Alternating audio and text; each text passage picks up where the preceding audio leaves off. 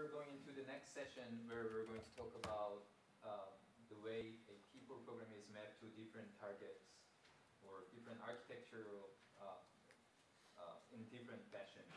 So we're going to start with uh, Dan Daly's talk uh, from Intel. So let's see how Intel maps P program to their targets. Hi, yeah, so I'm uh, Dan Daly from Intel. Whoa, back off of that thing. actually, I might not even use it. so you know, at Intel, uh, I wanted to go into some slides on the, the value of P4 uh, and why it's different from what we've been doing with processors and NICs and switches and all of this in the past. Uh, and uh, the, I, I, think the most valuable thing about this is, is that it's programmable versus flexible. Uh, and uh, you know, this is how uh, we're mapping it to our architecture is to sort of change the mindset. If you are a, uh, if you're working on a project for you know half a decade and you need to expose it somehow to your um, to your users, in the past what we've done is we've added flexibility to that product or that architecture so that software can come down and program it. Um, and you know my favorite example here on the host side is RSS. So we gave an interface. We worked with Microsoft to give an interface to uh, a, a, VM or to an application to be able to spread traffic to multiple cores um, inside of a platform. And that's a really, really valuable um, feature. So what we did was we told, uh, we tell the OS or we tell the driver, you know, the parameters by which to program that RSS. Uh, and it maps really well to our hardware. Um, and so you can see that it, it's sort of the data plane saying, hey, Windows, I support your RSS spec, so go ahead and configure it um, as needed. Um, and it sort of captures, it, it, tells you what is, what's possible, um, you know, uh, with the data plane underneath. Um, but then we start to run into problems with that sort of interface when something, and it might be a, a very small perturbation it, to that feature where you know you need you need to extend that interface somehow. So with RSS, the important or uh, some of these other functions like OpenFlow, where we say, well, I, I like the pipeline that you've defined, but we need to add new action. And so now we, we rev the spec to add that new action. And so then becomes this, uh, this tension as to what is in the spec versus what is in my data plane versus what is required in the control plane. So if we can flip that relationship around and say, uh, I understand that your, your uh, pipeline or your hardware or your implementation is very flexible, but instead of you telling me what you can do, I want to know, uh, I, want, I want to tell you what I need um, uh, so that I have more control over, uh, over what's done on, on my behalf. Uh, and that's sort of a programmable data plane.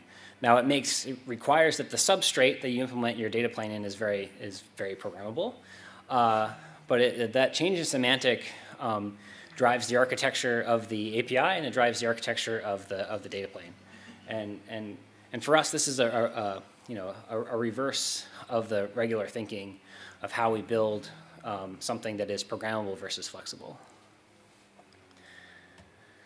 And so what you end up with is sort of a an executable specification. So we want to start with a, with a specification that we can run and uh, test out and get and, and drive all the bugs out before we go and optimize it. So, uh, and this is sort of, uh, I think some of the presentations before, this follows very nicely with the, the P4 flow, which, uh, you know, we configure each of these stages that we're putting into our data plane, um, and we sequence them. And sometimes the sequencing changes depending on the application. You know, I want to do, I want to segment the packet before I encrypt it, or I want to encrypt everything together and then segment it. You know, the, the sequencing really matters. Um, uh, and then the data plane needs to know what, what, what orders uh, are the different operations. And then once I define all that, I really don't want to have to write a new API every time, so having them auto-generated like we do in P4 is really valuable. Um, and so what you end up with is a sort of a, a target agnostic uh, spec that you can run and test and throw packets through and what have you.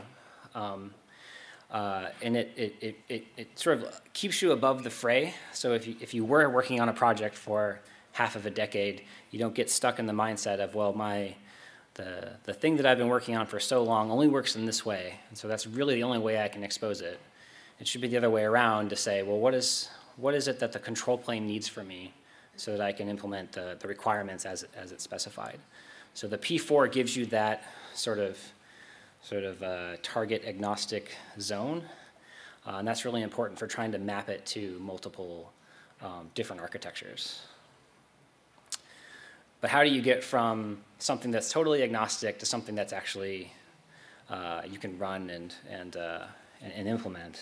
Um, and so uh, that, that's where the mapping comes.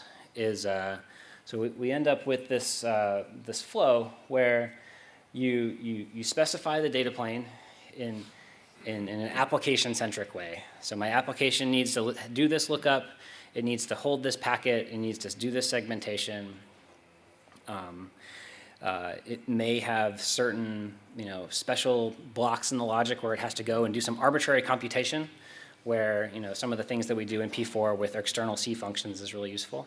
So you specify all that, uh, and then you need to be able to run that uh, before you can give it to someone to go optimize it. You need to go and execute it, run it in your environment, and you know if the sort of executable software model was fast enough, then you'd be done. Then you have completed the, the necessary training to um, go and, and, and implement the, the function in the network that you need. Um, so the last step is where we target it to the different um, uh, targets that we have. So you may say that, um, well, in order for this to run efficiently, I need to use some of the special CPU instructions that we've um, added over the years to, maybe it needs to be vectorized, maybe you need to use some of the cryptographic functions that we have in the CPU. Or you may have to bypass parts of the OS in order to get faster performance, uh, which is where we have DPDK. Um, and so in the future, I think that this flow enables um, you know, more programmable devices that are accelerators or FPGAs um, that uh, uh, can take a, a, a, concisely defined specification and, and push that into a, um, a high performance substrate. So that's sort of the uh, um, that's sort of the philosophy reversal that we've taken is to understand understand the problem and define it in a concise manner um, before we go and, and, try to commit that to a, you know, a, a, big program that needs to, that needs to run all of this in a, in a, in a faster type data plane. That's it. Any questions? Yeah.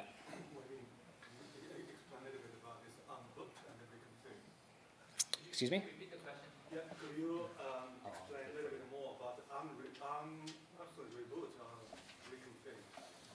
So what happens in, uh, in this picture is that once you do the comp compilation step, there's a set of you know, structures that you're going to put into your pipeline. So for example, let's say my first P4 program has five tables, and my next one has 10 tables.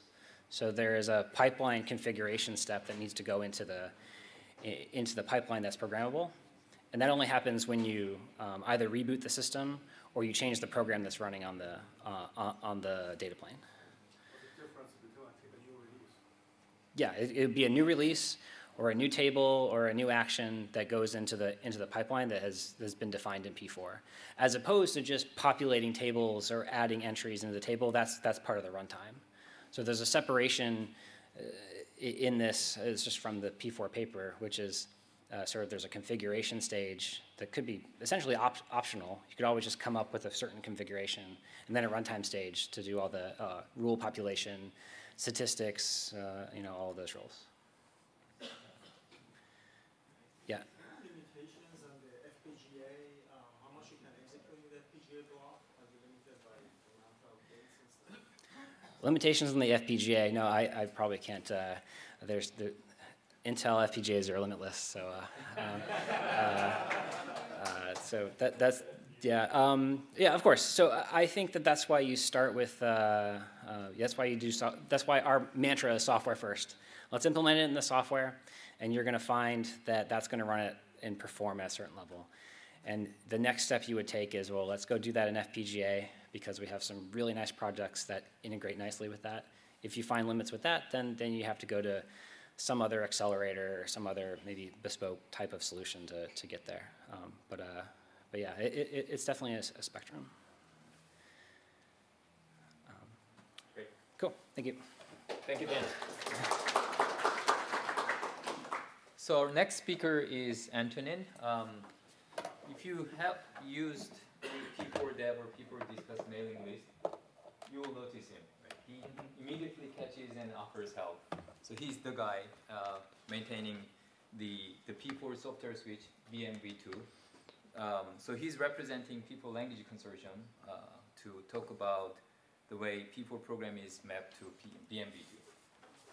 Hi, so uh, I'll try to keep it brief because we're running out of time. Uh, so what is BMV2? Uh, so you've seen like uh, one demo, Cheng's demo, the INT demo, uh, running uh, multiple BMV2 switches. So BM stands for behavioral model. So V2 because it's version 2. Um, so what we did is up to a year ago, we used to take the P4 uh, program and generate C code, and that was a project called P4C Behavioral, and that's what um, Mohammed used as a basis for his uh, OVS uh, switch. Uh, and a year ago, we decided that uh, we wanted to provide something more convenient uh, to people developing in P4. So uh, instead of having auto-generated C code, which is based on the P4 program, we decided that BMV2 would be loading your P4 program when it's starting and that you would not have to recompile anything, uh, any C code when you change your P4 program. So BMV2 is a C++ user space software switch, uh, which emulates the P4 data plane. Uh, it's aimed at being 100% conformant to the P4 specification, and I think that's uh, an important point uh, because in the P4 spec you can do arbitrary arithmetic on fields and metadata. Uh, you have like stateful memories. You have a lot of stuff which can be hard to do in a performant way in a software switch. And so BMV2 trades off performance to be 100% compliant with the P4 spec. As I said, there is no recompilation required when you switch a P4 program. Uh, it's also architecture dependent, which means that BMV2 is essentially a library which, can, which can be used to emulate any P4-enabled uh, device, maybe an ASIC, uh, maybe a NIC, anything which can be programmed using P4. And we also have a set of tools to make uh, development easier, so a runtime CLI uh, to program uh, the data plane, and GDB-like debugger, which I will actually be presenting tomorrow at the workshop. Uh, so this is a workflow. Uh, you start with a P4 program. It goes uh, through the uh, P4C BM compiler. This is a TENS compiler for P4 you're hearing about today. Uh, we get a JSON program, which is kind of the assembly equivalent, but for P4 and BMV2. And then you have your switch, so it's a user space switch. We use libpcap by default to read packets from interfaces. Um, and as I said, the CLI, uh, the runtime APIs, and on top of the runtime APIs, the, your application. Uh, so we use the P4 HLIR, which is open sourced on P4Lang. I've been hearing about it a little bit to generate the JSON representation, which is consumed by the switch. So JSON is actually very, very close to the P4 program. It's uh, just something that can be consumed easily by, uh, by our executable.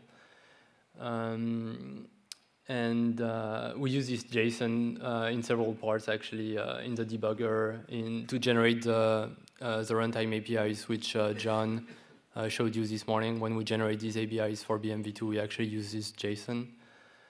Um, and uh, the goal is as P4 evolves, uh, I'm guessing you'll probably hear more about it tomorrow, uh, the JSON uh, remains the same. Of course, when we add new objects to P4, and in P4 v1.2 we added the concept of extern, we have to make like small changes to the JSON, but essentially we keep the schema backwards compatible. So I'll go very quickly over that slide. On the left, you have a P4 table, and on the right, uh, I removed some attributes, but essentially it's a JSON which is consumed by uh, BMV2. Uh, and I wanted to spend a little bit more time, uh, time on that slide. Um, so BMV2 is meant as a tool to promote promote innovation uh, in the P4 ecosystem. So it becomes very, very easily, and I hope you'll see that uh, during the hands-on, uh, to write a P4 program, change your P4 program, test it, test it again, and write an application on top of it. Um, however, because we want uh, BMV2 to be really close to the P4, so we can do nice uh, live debugging, uh, stepping through the program line by line, we essentially have to keep things close to the P4 program, which reduces the number of optimiza optimizations we can do. If you have like 50 tables in your P4 program, you will have 50 tables uh, in BMV2, and that means 50 lookups. Um, and so right now, for very simple P4 program, we can do uh, above 100,000 packets per second. But when we go to switch.p4, which is a data center program on P4Lang, which has like 50 tables, stateful memories, counters, meters. Uh, we are actually at 10,000 packets per second. So people have approached me uh, offering suggestions to increase performance, and we will be integrating some. Uh, however, we don't want to compromise on what makes BMV2 convenient, which are all the tools, stepping through the pro program, not having to recompile any C or C++ code when the P4 program changes. So it's more of a, it's not a production tool, it's more of a development tool. Um, and uh, yeah, and you've heard about uh, several projects. I'm thinking about the uh, OVS project from Mohamed and uh, the eBPF Intel project, which will give you the performance that you want, but maybe you won't have all the P4 features uh, which are covered by the spec as of today. Uh, yeah, and I don't think we have time for this uh, slide, but essentially, as I said, BMV2 is target independent, and I encourage people who have an ASIC, which is meant to be P4 enabled, to try to implement their ASIC target using the BMV2 library to get similar behavior as the hardware. And um, uh, as a reference, we have a target on P4Lang, which is called Simple Switch, which was only implemented in uh, 600 lines of code uh, using the um, BMV2 library. Thank you.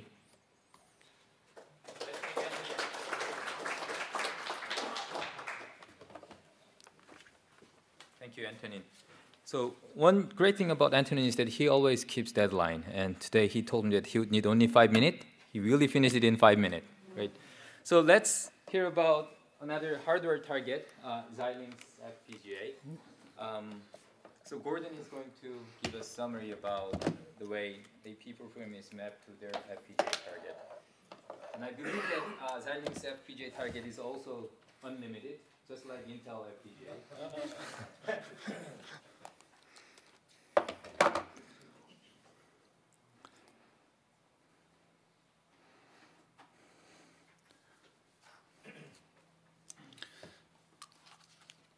Okay, so someone asked, someone asked about FPGAs as a target. So I, am your man, since I, my day job is with an FPGA company. So just as a background, in case people don't know what a field programmable gate array is. Uh, you can think about it as white box hardware. So it's uh, just a sea of logic gates, and you can program the logic gates to whatever you want. So yeah, my, my, my mantra is you, know, you have white box software plus white box hardware together, serendipity and programmability, as Dan mentioned. Anyway, just to give the scale of it, you know, when I, when I got interested in FPGAs uh, 100 years ago, you know, they were tiny little devices. You couldn't do anything. Now we're up to about uh, marketing numbers, 3.5 million kind of logic cell kind of things on it, with all sorts of stuff floating around. So that's the technology we have. And yeah, the good thing, I waited a long time for this. You can now do complex packet processing on a single FPGA, which was kind of virtually impossible just a few years ago.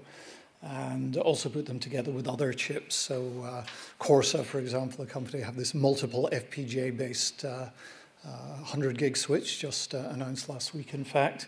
And uh, often you put an FPGA beside some dumber switching devices to add some intelligence, etc. You can even put them beside CPUs, though uh, who would want to do that?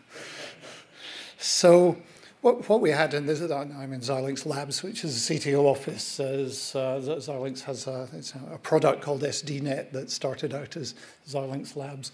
And basically, it's a flow from a high level language, which we call PX, which actually predates P4, but is about 85 to 90% overlapping. So uh, the, there aren't too many ideas floating around in the Bay Area.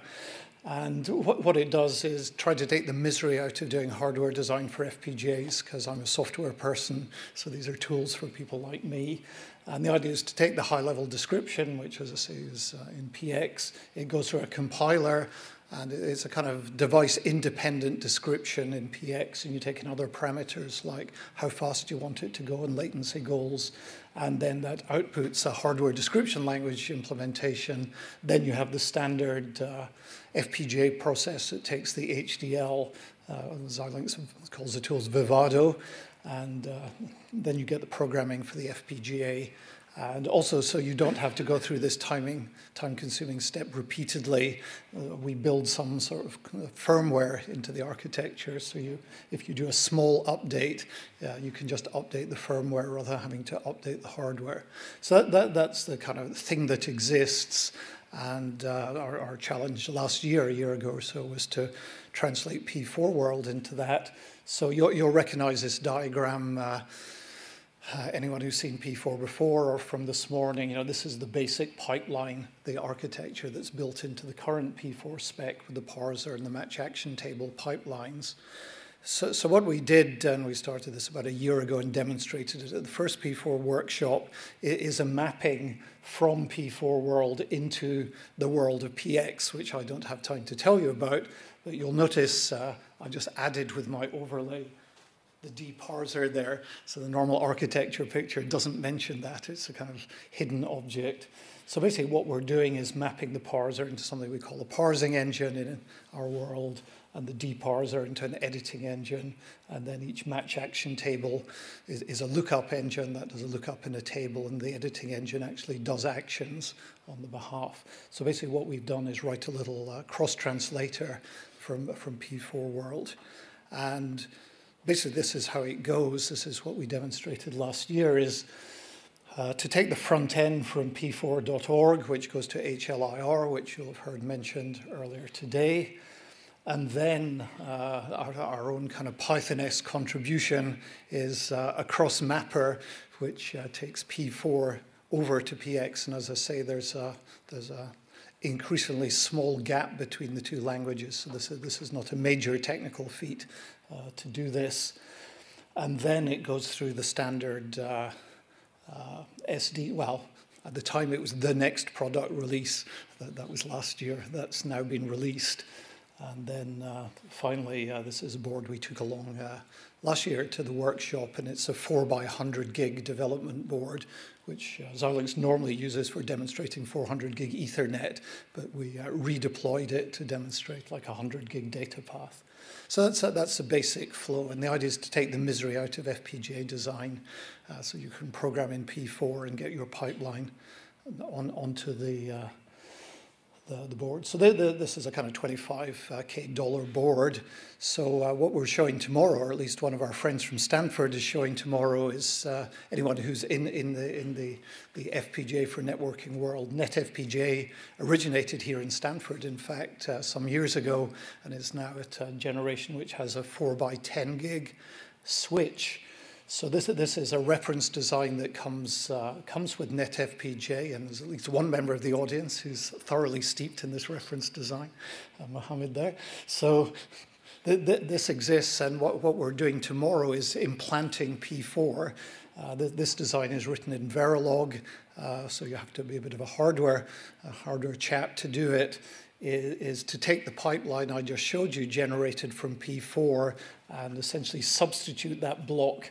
You see the input arbiter is uh, aggregating four 10 gig ports together, the output queues are disaggregating it, is to substitute that block in the reference design so you can just plug in a P4 generated block. So instead of the example uh, thing that comes with NetFPGA, so that way we can make this available to the uh, research community. So for the future, one of the changes, and uh, if you're back tomorrow, you'll hear a bit more about this. The evolution of P4 is to try and separate out the architecture and language uh, aspects, so one doesn't have this single built-in switch architecture anymore. You can actually describe different target architectures. And this is a slide I, I stole from Chang, who had it uh, at the last workshop in November the, the idea is, as you see here, that P4.org defines a standard architecture, uh, you know, a bit like what exists at the moment in the language spec, but other target providers can define different targets. And uh, with the FPGA, what we have the ability is not just to say, here's one target architecture, but you can actually program up your favorite target architecture, and then that will plug into the P4 model. So what we're doing at the moment with our, our demo, if you like, is modeling the standard P4 pipeline on the FPGA. This will allow us to define other kind of architectures and different kind of pipelines uh, on the FPGA. And the, this, this, is the, the kind of future P4 flow, if you like. You, you select your architecture, and then the program kind of plugs into that architecture and uh, out comes your data plane and the API as before. So uh, the, the, this is where we're optimistic about FPGAs having a way of defining kind of people's target architectures in hardware. So that's uh, all I'm going to say since we're uh, running out of time. I'll take one question, two questions.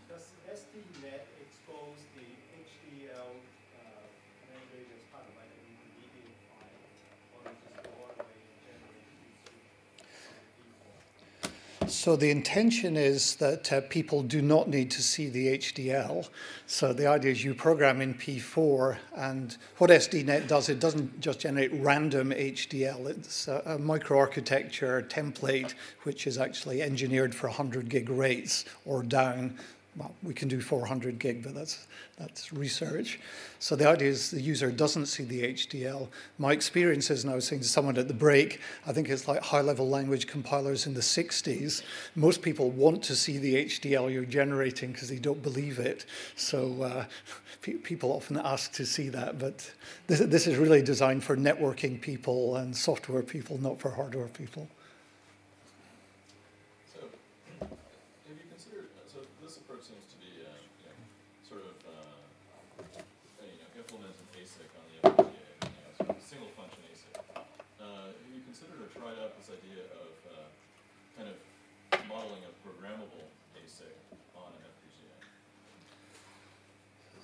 So we could model a programmable ASIC on the FPGA, and in some ways the firmware I mentioned is a bit like that. What I prefer, and actually this was my talk at the previous workshop, is you, you can actually change your architecture on the FPGA. So it's more than just reprogramming it, you can actually re-architect it. Uh, so there's a bit of a continuum in what you can actually change. So it doesn't have to be a fixed data path. You can actually change the data path and program the data path, if you see what I mean.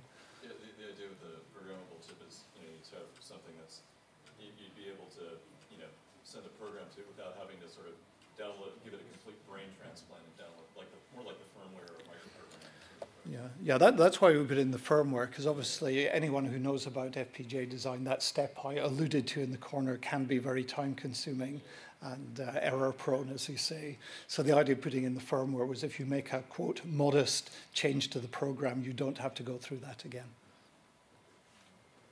Okay, let's thank Gordon.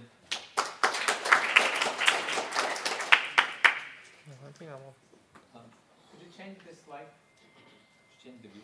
So uh, we're originally going to have another hardware architecture or hardware uh, backend explanation from Netronome, but uh, because of the time, Johan actually graciously accepted or agreed to merge his architecture talk with uh, the hands-on lab session because we have a dedicated hands-on lab session for Netronome target.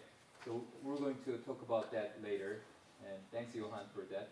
So we're not missing that hardware target but netronome NQ-based target is very important, but you'll be actually using that today.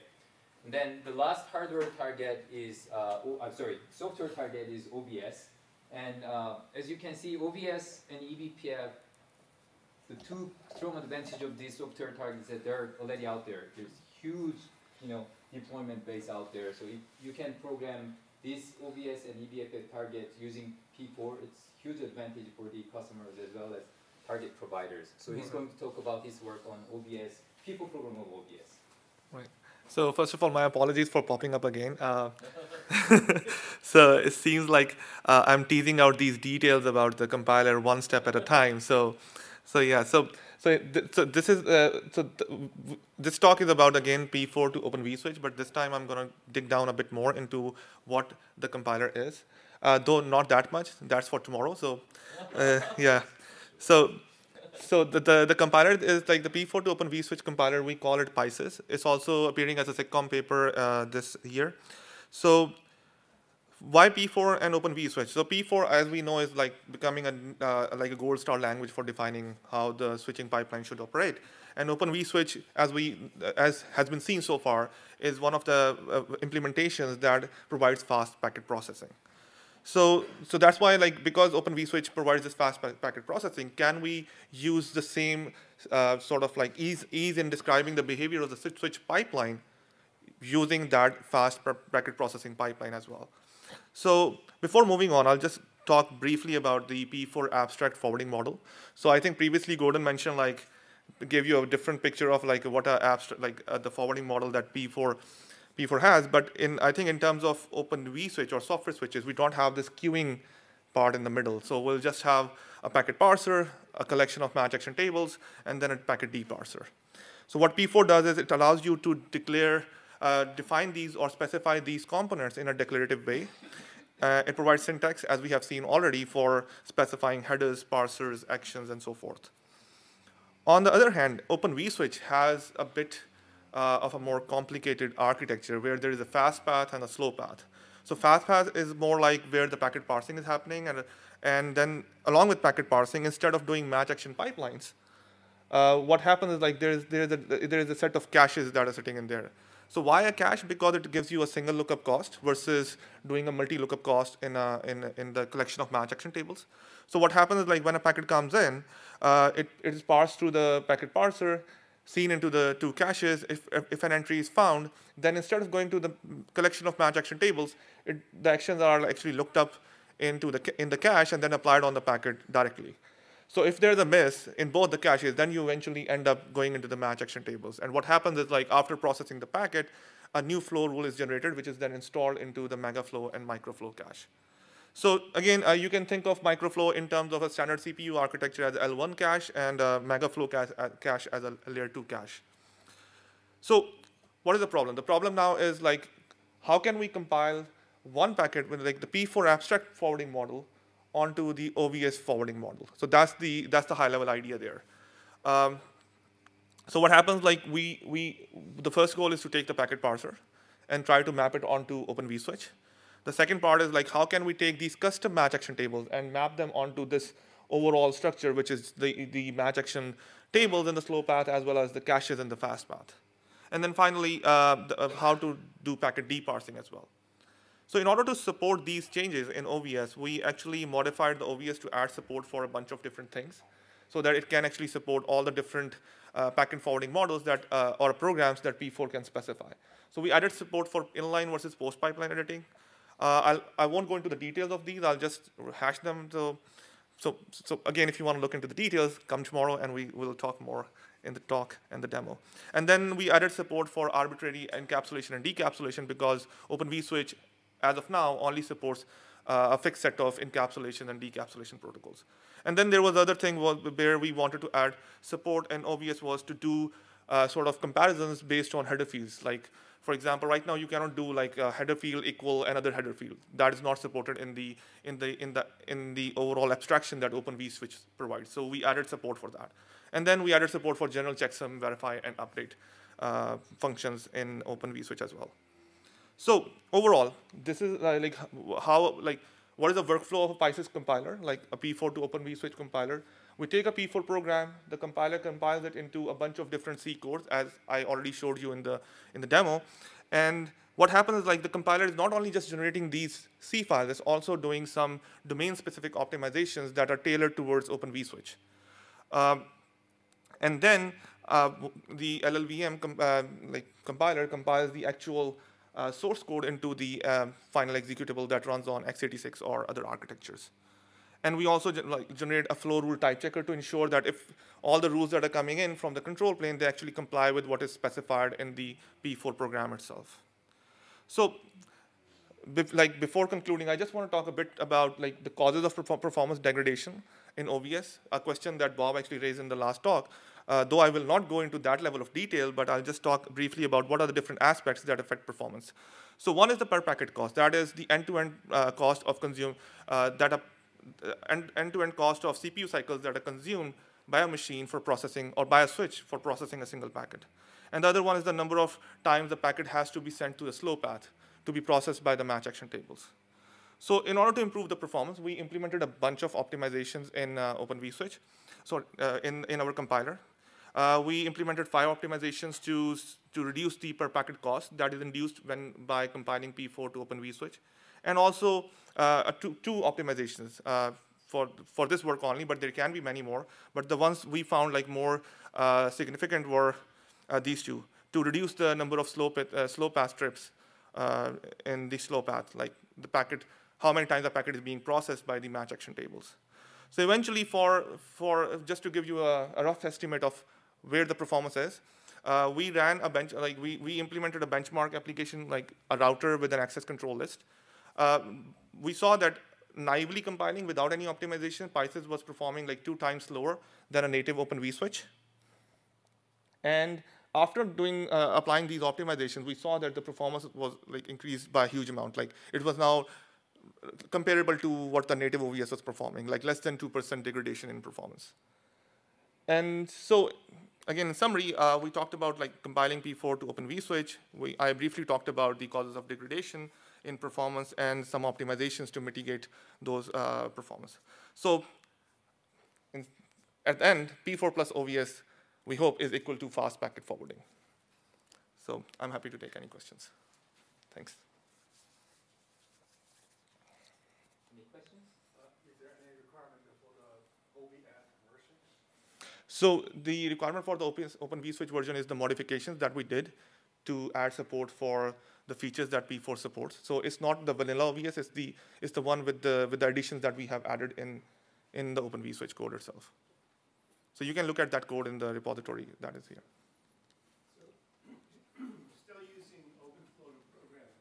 Um, so the API itself is uh, it's not OpenFlow itself. It's the, it's the extensions. Like you are not only limited to what OpenFlow gives you in terms of the fields that you can match on, but now you can match on any field. So the interface is more like OpenFlow, but now you can match on your custom header fields and do actions based on what the P4 is telling you. But, but are you using the P4 API or are you using OpenFlow? The program that runs on So, so right now we are using the Open vSwitch command line utilities for programming it, and then we are running, we are implementing a shim which is auto-generated by P4 to allow the controller to uh, install rules in, in OVS. using using OpenFlow extensions or using the P4 uh, like a Thrift or some other. Uh, So that's the, that's the, the uh, like so for now for this uh, implementation that we have, we are using we are have we have extended the command line utilities that Open vSwitch gave you like o, like OVS, OFCTL, and so forth, and then we write a shim, shim on top of it that im- implements Thrift or something else to install the rules. oh, so have you thought of, of uh, integrating it into OVS? Right, no, that, that's the ongoing work. We haven't actually, like, say, the, the goal of this work was to see what is the effect on performance. So we are still, like, we, the next step is to look into how to integrate it more optimally with the controller. Okay, let's thank Shahbaz. Thank you.